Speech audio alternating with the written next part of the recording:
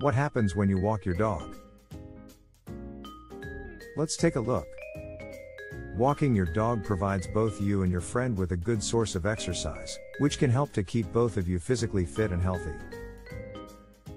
When you take your dog for a walk, they have the opportunity to socialize with other dogs and people, which can help to improve their social skills. Walking your furry friend will help to strengthen the bond between you, as it provides quality time for you to spend together. Dogs require mental stimulation to keep their brains healthy, and walking provides an opportunity for them to explore new sights, sounds, and smells.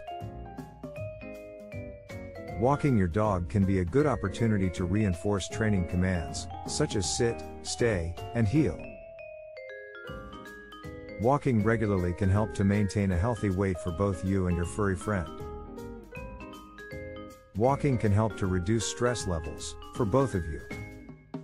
Regular exercise and fresh air from walking can help improve your dog's quality of sleep, leading to better overall health. Walking your dog can boost your mood and reduce feelings of depression or anxiety. Exposure to new environments and people during walks can help to strengthen your dog's immune system. Overall, walking can have a multitude of benefits for both you and your furry companion, making it an important part of their overall well being.